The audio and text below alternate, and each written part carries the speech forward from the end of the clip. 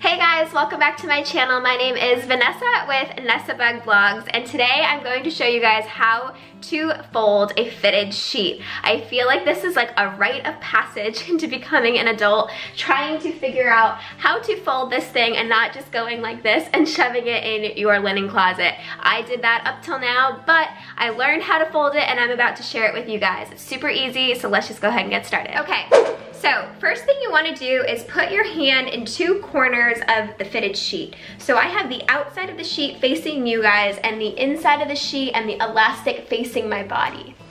And I'm gonna face this way just so when I'm talking about my left and my rights, you guys can not get tripped up. So, first thing you wanna do is take your right hand, let me make sure that's in frame, take your right hand and go over to your left, clap your hands together, and the sheet that is on your um, right hand, I want you to flip that over your left, okay?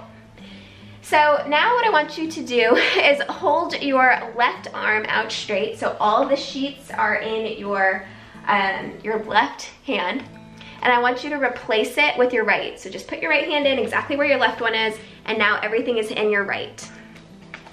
Now what I want you to do, take your left hand and hold, um, move your hand over and slide, slide, slide until you reach the other side of the sheet and you'll feel there's two other corners at the bottom. So now I have two corners in here, two corners in this hand, and if you look at it, you'll see that the whole sheet itself is now inside and out. So the pattern is on the inside and the part that would actually touch the mattress is facing outside and facing inside. Can you guys see that? Okay, so the next thing you're going to do is just place it down on a flat surface. This is the easiest way to do it. So I'm gonna put it on my bed and I'll bring you guys over there. Look. So basically what that first step did is it insided out the sheet. So the pattern is underneath here and everything is inside and out and we have two corners together at the top. And then the other two corners are just draping down at the bottom. Now there's a ton of different ways that you can do this, but I'm all about keeping it simple. So from here, all we're going to do is fold it in thirds.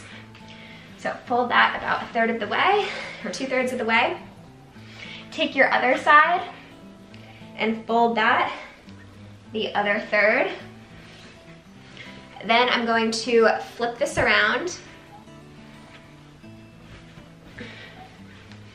Again, I'm gonna fold this into thirds, and then I'm going to fold the other third over. And that's it. That's it guys. I honestly, I didn't realize it was that easy. and again, there's probably 14 million ways that you can do this, but this is just the way that I do it, and I think it's pretty simple, and it looks pretty good to me. Let me know if you have a different way of doing it down in the comments. Um, I hope you guys enjoyed this video, and stick around for more cleaning content and how-tos around your home. Have a wonderful day, and I'll see you guys in my next video. Bye!